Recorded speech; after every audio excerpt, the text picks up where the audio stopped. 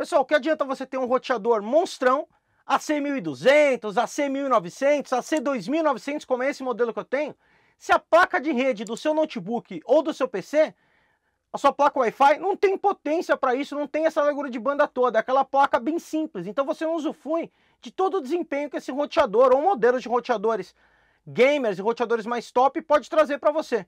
É para isso que eu trouxe um cara para fazer par com esse roteador aqui que eu estou instalando no canal. Se você ainda não viu o vídeo dele, está aí em cima nos cards. Deixa eu mostrar aqui para vocês. O meu equipamento novo é uma antena USB, ou seja, uma placa de rede Wi-Fi USB, a ASUS USB AC68.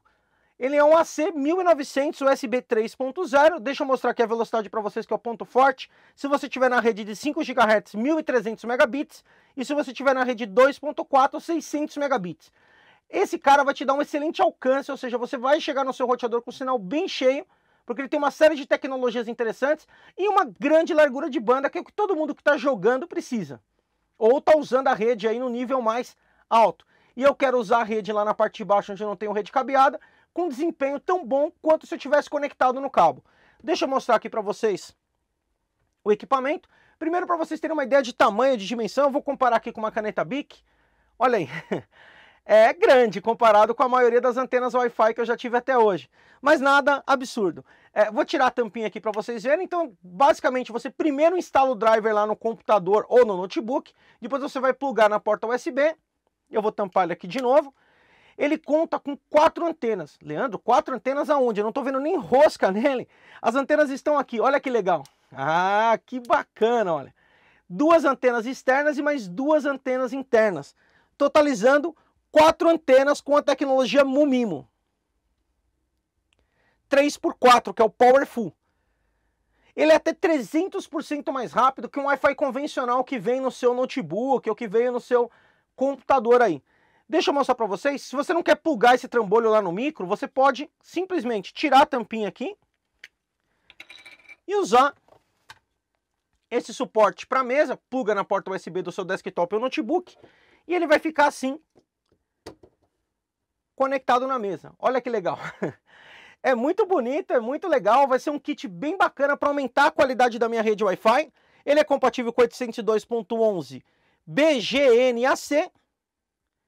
É um equipamento que tem um preço alto, mas é para um público diferenciado que procura o máximo de desempenho no Wi-Fi, um gamer ou um profissional liberal aí que quer ter uma qualidade na sua rede sem fio maior.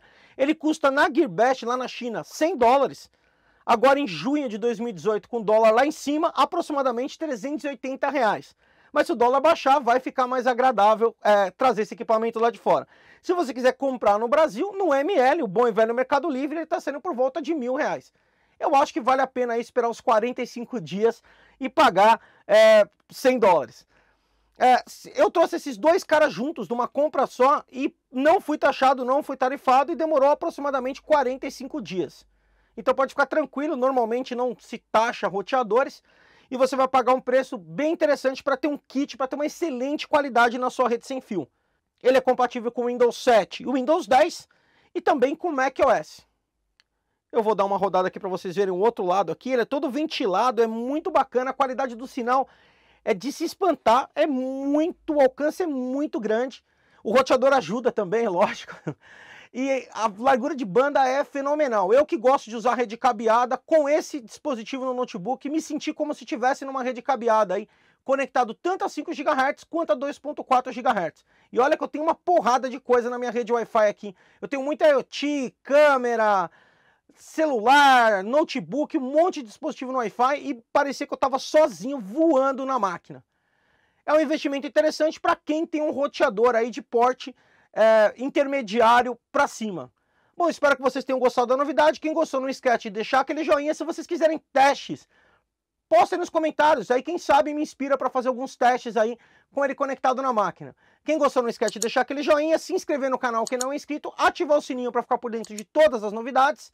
E é isso aí. professorramos.com compartilhando conhecimento. Até a próxima!